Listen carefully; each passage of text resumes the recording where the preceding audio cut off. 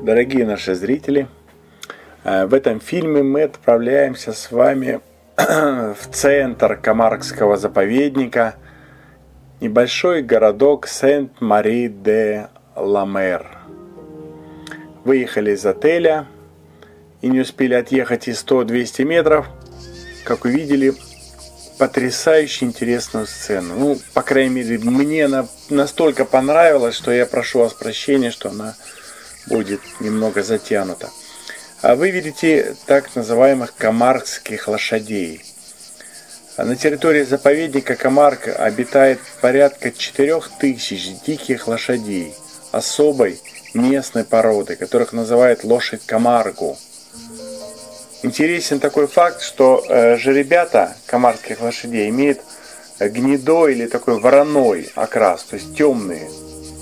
Но со временем они светлеют и становятся практически белыми. Иногда даже бывают белоснежные лошади. До сих пор спорят, откуда э, произошли эти красивые животные. Генетически комарги близки к древним лошадям, распространенным в Европе 45 тысяч лет назад. Представляете? А здесь э, проехали еще метров 200-300 и увидели за загородкой осликов или шачков, не знаю, как их правильно назвать, и комарских лошадей. Алла быстро нашла у нас хлебушек, который лежал э, запасливо в, в нашем автомобиле. И мы скормили весь хлеб, который у нас был. А вечером, когда будем пить вино, хлеба у нас не останется, будем закусывать просто кусочками сыра. Такие эти лошадки обаятельные, такие прелестные. Ну, и я люблю лошадей, очень люблю лошадей. И Алла любит лошадей. Алла вообще всех животных любит. Поэтому мы, мы тут стояли очень долго, пока вся буханка хлеба у нас не ушла. Причем э, самое сложное было, э, чтобы никого не обидеть, потому что мы начинали кормить одну лошадку, подходила другая – только начинали кормить лошадей, начинали кричать ишаки, давай и нам, и нам, и нам хлеба. Бежали к ишакам, кормили их. Ишаков там тоже осликов было несколько штук. Ну вот, такая вот, такое прелестное начало нашей экскурсии. От нашего отеля до городка э, Сент-Мари-де-Ламер меньше 4 километров. Такая небольшая узенькая красивая дорога, и вот мы в деревушке. В этой деревушке живет меньше трех тысяч человек. И в то же время это один из самых популярных э, курортов Франции. Здесь, в, этом, в этой деревушке, можно найти э, не только хороший пляж. Мы с вами туда сходим, покупаемся, вы посмотрите, нравится, понравится вам или нет. Здесь есть корида. Вот мы проезжаем мимо стадиона, но эта тема я не очень люблю, поэтому э, заходить туда на стадион, на этот небольшой амфитеатр мы не будем. Здесь можно отсюда можно совершить большое количество всевозможных э, прогулок э, в Камарский парк. Э, мы с вами совершим прогулку на катере, это чуть позже в следующем фильме, и будем в парке птиц. Это тоже будет отдельный фильм. Здесь есть очень красивый древний собор, храм с православными святынями. Но это тоже чуть дальше я вам покажу. Сам поселочек вот такой небольшой, низенький. Дома в один-два этажа очень много э, маленьких магазинчиков, маленьких кафе, ресторанчиков. Э, и сюда мы с вами сейчас зайдем, посмотрим, чем здесь кормят туристов, ну и местных жителей. Цены, кстати, оказались ниже, чем мы ожидали. Вот мимо такого большого котла с паэлей ну, пройти практически невозможно. Кроме того, что красивая картинка, как вы видите, Смотрите, какой огромный котел. Какой э, запах стоит на этой улочке. И Алла кошка мне уговорила, а давай зайдем, покушаем. Тем более, э, кое-кто из наших зрителей уже спрашивал, ну почему морские продукты-то э, еще не кушаете? Почему ракушки мы не видим в кадре? Вот сейчас специально для вас мы и зашли в это небольшое кафе. Алла Кошка, как всегда, мы с ней э, один из тостов обязательно посвящаем вам, наши дорогие зрители. Мы всегда э, поднимаем тост за любовь, за здоровье, за ту страну, в которой мы находимся. И всегда мы говорим за наших дорогих зрителей, потому что э, вы нас стимулируете на наше путешествие. Может быть, мы давно бы легли бы уже на диванчике, тоже посмотрели телевизор, но мы каждый раз думаем, но ведь э, у нас уже столько подписчиков, у нас уже 15-16 тысяч человек, которые ждут наши фильмы. Мы не имеем права, пока есть силы, пока есть здоровье, надо путешествовать. Вот такие замечательные морепродукты, э, рыбка и э, ракушки, и вот эти вот, я их называю морские тараканчики. Вот цена, видите, 27 евро ну, примерно, если перевести в рубли, э, примерно 2000, 2000 с небольшим рублей. Э, с учетом э, Франции, Прованса и то, что это все же практически пик сезона, цена небольшая. Алла все ходила возле быков, поглаживала их. Это памятники знаменитым быкам производителя этой местности – я думаю, для чего она все ходит. И вот мы подошли к французской карусели, и Алла оседлала, как вы думаете, кого? А посмотрите внимательно. Быка оседлала. Вот она, что ходила вокруг этих статуй. Она осматривала, как к ним подойти поближе, э, что, как говорится, погладить, где сесть, чтобы бык был послушным. Черные быки – это один из символов этой местности, как и белые лошадки и розовые фламинго. Вы все-все увидите. Лошадок я вам уже показал. Черного быка вот показал вам пока э, в виде статуи и э, игрушки такой на французской карусели. Ну и фламинго у нас впереди. Главное, смотрите, не уходите далеко. Дорогие наши зрители, мы с вами идем э, в церковь собор Нотр-Дам-де-Ла-Мер, построенный в XI веке. Это э, одна из главных святынь Прованса. И, наверное, главная святыня для всех цыган мира. Я вам сейчас расскажу почему.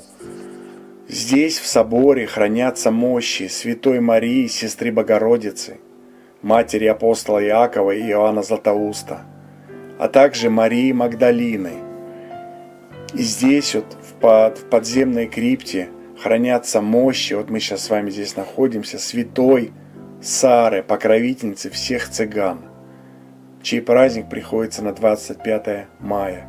В этот день, в этот э, городок, в эту деревушку, в этот храм на юге Франции стекается множество цыганских таборов из Франции, Испании, да, и со, со всего мира – Существует такая легенда, а вы сами понимаете, что легенды не существуют на ровном месте. Сара была служанкой Марии, тетки Христа и Марии Соломеи, матери двух апостолов. Их посадили на лодку без парусов и весел и изгнали из Палестины. Ветры и течения пригнали их именно сюда, где они начали проповедовать. Вот такая вот легенда. И цыгане совершают сюда паломничество каждый год в мае месяце. Вот такое странное насекомое, э, похожее на птичку калибри. А вот смотрите на плакатах, что можно здесь увидеть, какие виды экскурсий. Вот есть театр э, с лошадьми Камарк. Э, можно на лошадках прокатиться, можно пешком, можно на джипах, можно на каких-то конных тележках. Жара, жара стоит, и тем не менее, посмотрите, сколько цветов в этом городе. Замечательный, маленький, обаятельный, милый провинциальный городок, провинциальная деревушка на морском побережье. И э, море здесь, а мы сейчас с вами идем на это море, потому что уже жара невыносимая, Алла говорит, пойдем купаться, сил нет. Да, показывают эти небольшие магазинчики, честно вам скажу, не люблю. Но Алла говорит, у тебя же 60% зрителей женщины, а им это нужно, им это важно. Покажи, что здесь можно купить, какие вещи. И я показываю. Ради женщин я на это готов. Смотрите, какая скульптура, сделана из кусочков дерева. Очень красиво. И вот мы на пляже, знаменитом пляже Прованса. Он длится влево и вправо от этого городка на много километров. Там я даже пытался на карте понять, э, ну, сложно там, ну, налево там 10 километров, такая вот песчаная коса. И вправо 10 километров, я не ошибусь, если скажу, такая песчаная коса. Море очень теплое. Э, песок горячий, много, как видите, детей. Тут потрясающий семейный отдых. Э, пляж можно любить разный. Кто-то любит камни. Вот мы с Аллой любим камни, чтобы глубоко, чтобы с камней головой вниз, а там 5 метров глубина. Это мы обожаем, за это мы любим Хорватию, например. Но ведь если вы едете э, с семьей, с маленькими детьми, какие камни, какая глубина 5 метров. Конечно, вот такой пляж самое-самое оно. С маленькими детишками. Когда можно сидеть на пляже, попивать вино или пиво и видеть, э, как твой э, внук или ребенок купается, и где глубина очень постепенно, постепенно идет вниз. Плюс песочек мягко, ребенок не уколется, не ударится, нет никаких ежиков, ни острых камней. Конечно, для семейного отдыха это самое-самое оно. Ну и водичка всегда теплая, потому что глубина, вот Алла плещется, смеется. Она говорит, а глубина тут полметра. Вот она руки поднимает, типа, вот, глубоко, глубоко, у меня тут прям глубина. А на самом деле там полметра. Ну, пример у нас э, есть, например, Евпатория или Анапа. Очень любят для семейного отдыха. Много пионерских лагерей. Э, много э, семей, семьями там отдыхают. Поэтому пляжи нужны разные, пляжи все важные. Выбирайте на свой вкус. Ну а мы, как э, люди, которые любят и уважают своего зрителя, с удовольствием здесь пополтыхались, поплескались, напились этой соленой. Здесь она нам показалась какая-то прям особо соленая вода. Прям я сейчас смотрю это видео, во рту стоит э, кусок соли. Но это тоже польза. Кстати, здесь добывают соль. Есть солончаки, где добывают соль в промышленных масштабах. Не уходите далеко. Наше путешествие продолжается. Мы отправляемся с вами на прогулку по вечернему Сент-Мари-де-Ла-Мер. Вдали салют был, фейерверк, ну, возможно, или корпоратив какой-то, или день рождения, а может быть и свадьба. По набережной прогуливаются всеми семьями, ребята бегают, молодежь плескается в море до сих пор. На пляже можно встретить парочки с бутылкой вина, со свечками. Романтика. Дневная жара спала, и уже не плюс 40-45, а где-то плюс 30. Но все равно большая влажность, такая соленая. А вот мы подошли к туристическому центру, здесь можно увидеть всевозможные предложения по турпакетам, по экскурсиям. Вовсю работают кафе, рестораны, автомобили очень медленно движутся по курортному городку, чтобы не мешать пешеходам. Расслабленная, замечательная, приятная, романтическая обстановка вечернего приморского городка. Алла пробежалась по магазинчикам. Теперь у нее есть оправдание, когда я ругаюсь, говорю, Алла, у нас времени нет, давай пойдем. Она, подожди. А вдруг э, зрительницы твои что-то спросят, а ты не знаешь. Я вздыхаю и жду ее. Ну, вот, такой магазинчик я люблю. Я обожаю мороженое, просто обожаю. Это, наверное, самое вкусное, что я люблю из такого сладенького. продающихся в магазинах. Вот парень очень захотел остаться в моем фильме. Ну просто вот встал, загородил э, какой-то там музей. Я говорю, ну и слава богу, стой, на здоровье. Теперь ты в истории, парень. Это собор, мы сегодня днем с вами были там внутри. Ну что, отправляемся в наш отель. Это вот такие поздно вечерние, уже практически ночные съемки. Какой-то канал. Все это отражается в свете. И вот проезжали на машине, увидели большое стадо черных быков. Дорогие наши друзья, в этом фильме я расскажу об одном из э, самых простых способов познакомиться с парком Камарк. Это круиз на кораблике. Я начитал в порту э, три фирмы, которые занимаются этими вопросами. Возможно, их больше. Плюс огромное количество, как вы видите, моторных лодок, яхт. Э, с хозяином каждой из них, я думаю, вполне можно договориться. Стоимость круиза на, на таком вот большом корабле 12 евро. Э, с ребенка там определенного возраста, ну, не буду точно говорить, потому что не помню, 6 евро. До какого-то возраста ребенок э, плавает на кораблике, конечно же, бесплатно. Продолжительность примерно полтора часа. Я очень люблю такие, такого рода экскурсии. Особенно в том ритме, в котором мы с Аллой постоянно находимся во время путешествий. Иногда ноги уже отваливаются, пятки горят, ботинки дымятся.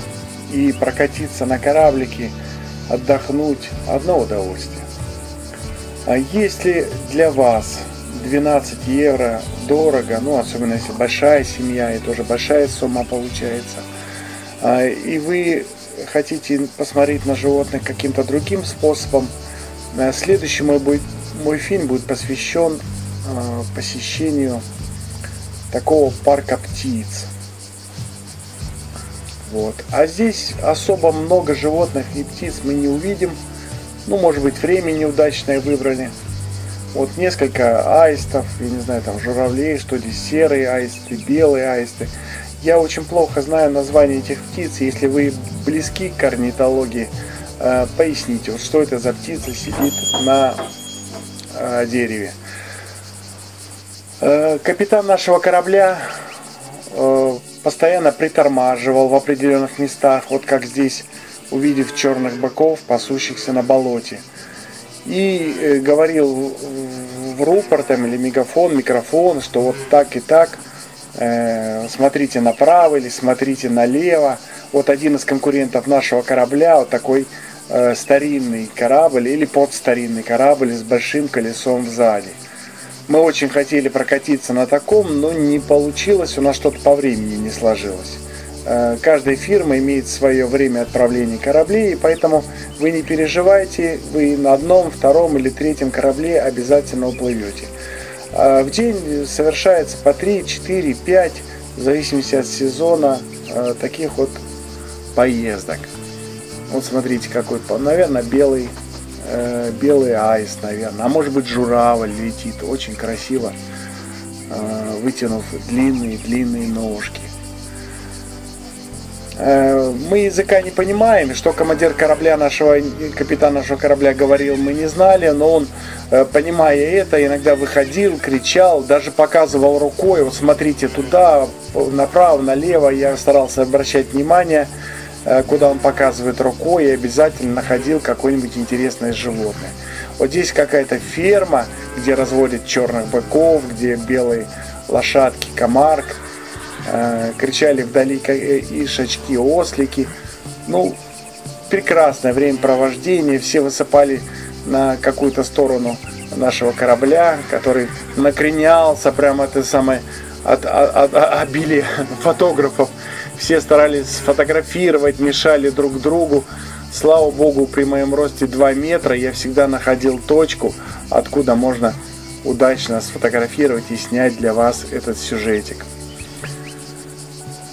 Я этот фильм помещаю в раздел плейлисты релакс, потому что, ну, как еще можно по-другому назвать такое путешествие, как не путешествие отдых, путешествие релакс. Лошадки обаятельнейшие, выносливые, гуляют по болоту, что-то там сами находят, сами кормятся. Ну, такие молодцы.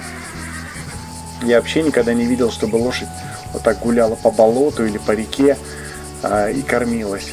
А вот э, стая, не знаю, или гуси, или лебеди, что-то такое над нами пролетело, курлыча что-то себе в воздухе.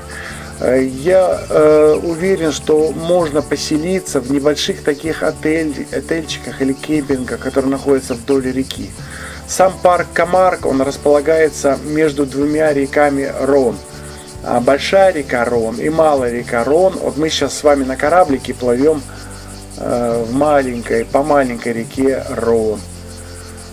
Посмотрите на карте или даже вернитесь в начало моего фильма, там все понятно. Не уходите далеко, мы продолжаем.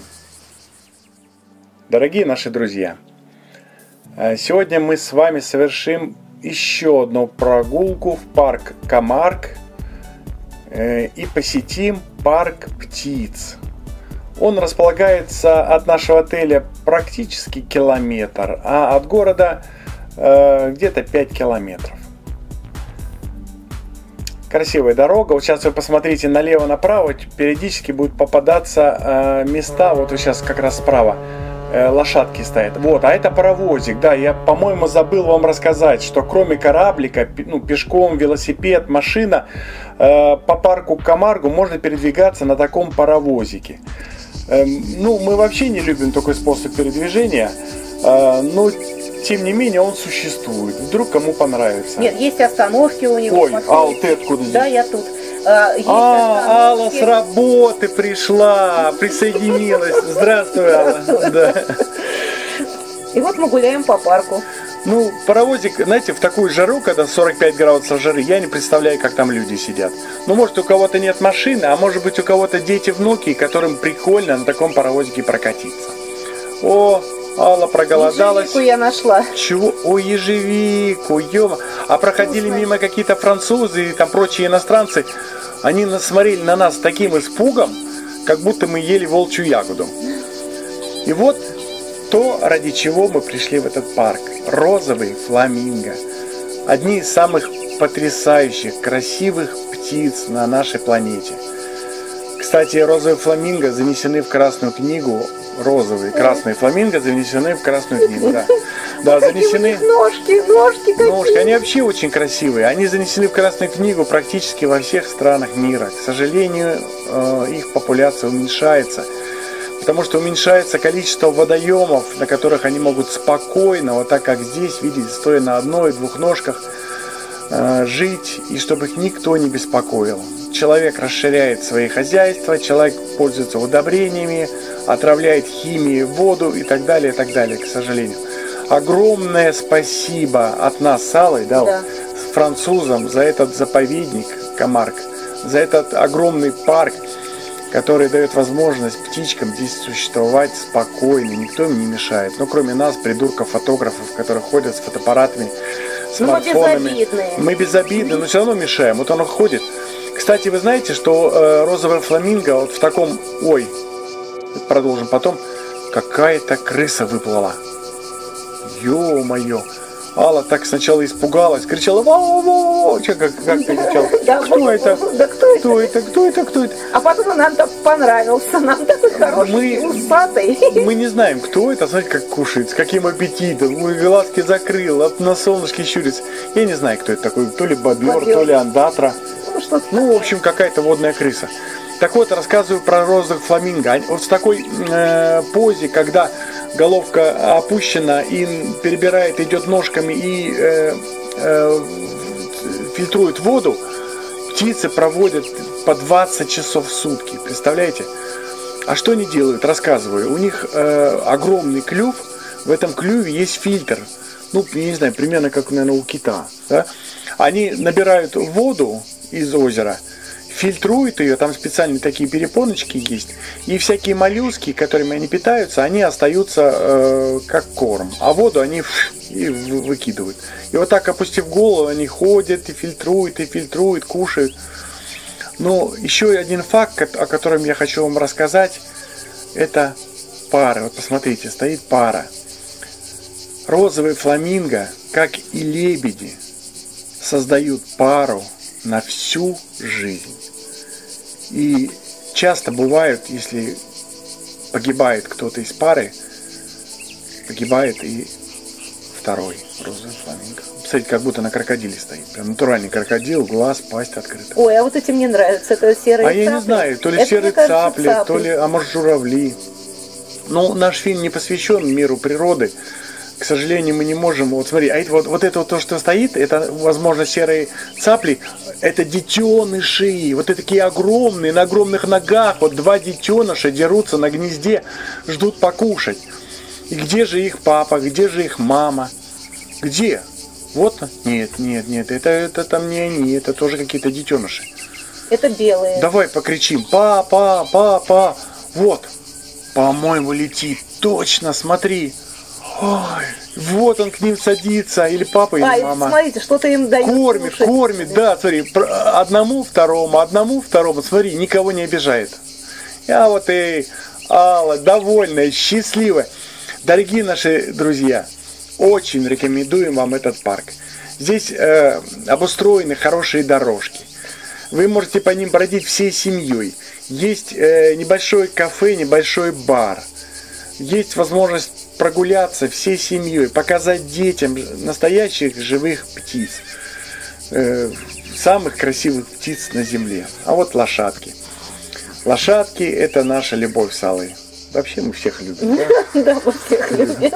Мы не могли э, проехать мимо, остановились, погладили наших лошадок. Дорогие наши зрители, не уходите далеко. Наше путешествие по Провансу продолжается.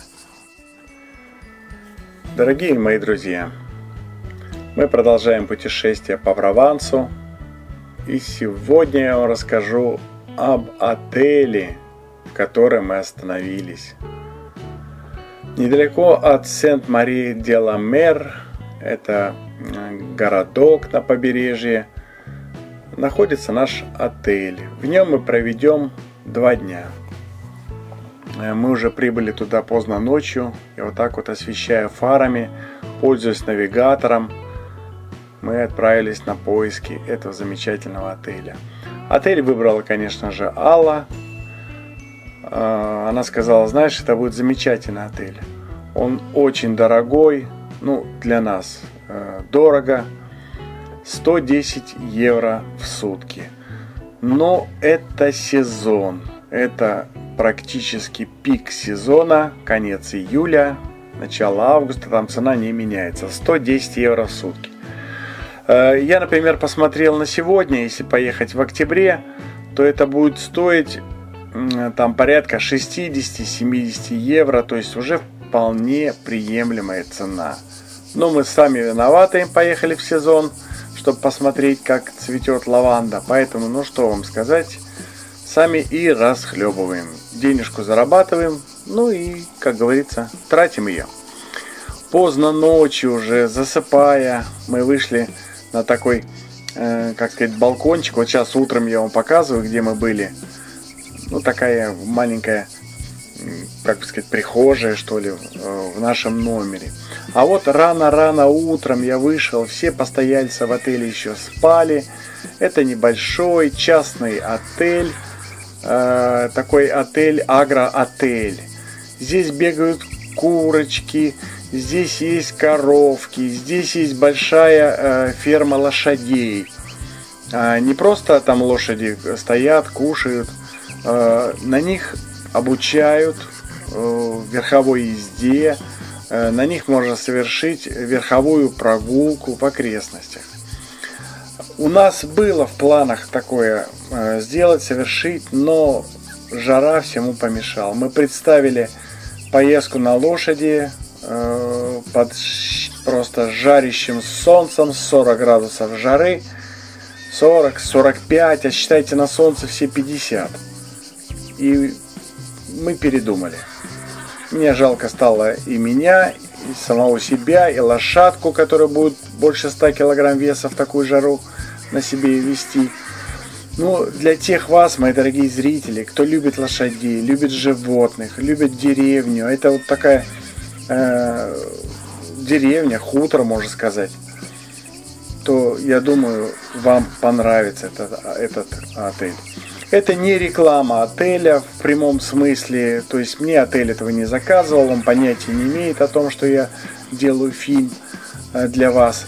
Э, кстати, этот фильм я, наверное, отправлю. Вряд ли они им воспользуются, но тем не менее я отправлю, потому что из чувства просто благодарности, как сказать спасибо организаторам этого отеля за огромный труд. Посмотрите, как здорово. Много цветов, великолепный газон, э, Здесь есть и завтраки, и ужины, и обеды, но мы не брали. Для нас это было, к сожалению, дорого. Поэтому питались, так скажем, подножным кормом, да, то, что привезли с собой. А вот такой бассейн. А, так как мы были два дня здесь, то мы э, два утра, два раза утром, так скажем, в этом бассейне искупались. Несмотря на то, что у нас были очень напряженные эти два дня, то есть это два дня в отеле, это не то, что многие могут подумать, э, что вот леж, лежат, загорают, кушают. Мы об этом мечтаем. Но, к сожалению, такое бывает крайне редко, и мы даже уже и не помним в ближайшее время, когда такое было. Это вот рано утром, это может быть 7 утра. Вот, то есть мы быстренько вскочили и говорю, Алла, тут есть бассейн, нам нужно искупаться, нам нужно показать нашим зрителям, нашим дорогим друзьям э, рассказать об этом отеле. А я уверен, что те из вас, кто будет в Провансе, кто э, приезжает сюда, например, с детишками, э, будут очень довольны этим отелем. А до городка там практически, наверное, километров 5. Можно пешком пройти, можно на машине. Как правило, на Провансе, в Провансе все путешествуют на машине, и это правильно. Знаменитая на весь мир Котарусель вот, мы ее крутим, вертим, плескаемся. Потом, когда другие постояльцы этого отеля пришли в бассейн, там воды не было уже наполовину. Нам было очень стыдно, но что поделать, такие же мы дурачки. Обожаем веселиться, как дети.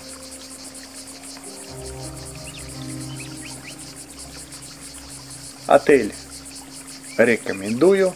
Но так как здесь много животных, хочу обратить ваше внимание э, тех людей, тех моих зрителей, если у кого есть аллергия. Такое бывает часто. Например, на лошадей, на лошадиный пот. Тогда вам, конечно же, не сюда. Вот знаменитая э, дынька. Мы ее кушали практически каждый день. Э, часто на дороге встречалась встречаются такие небольшие рынки, где продаются э, дыньки, э, арбузы, помидоры, виноград, ну и прочее, э, то, что выращивается во Франции. Мы всегда останавливались на таких рыночках и закупали несколько дынь, там несколько бутылок вина, виноград. И в такую жару, вы знаете, кушать особо, честно говоря, и не хочется. Вот как раз вы видите занятие верховой ездой. Мы говорим нашему отелю до свидания, мы отправляемся дальше путешествовать. Следующий мой рассказ будет об этом городке Сент-Мари-де-ла-Мер, на которого рукой подать. Не уходите далеко, мои дорогие зрители. Вас ждет еще несколько фильмов о Провансе.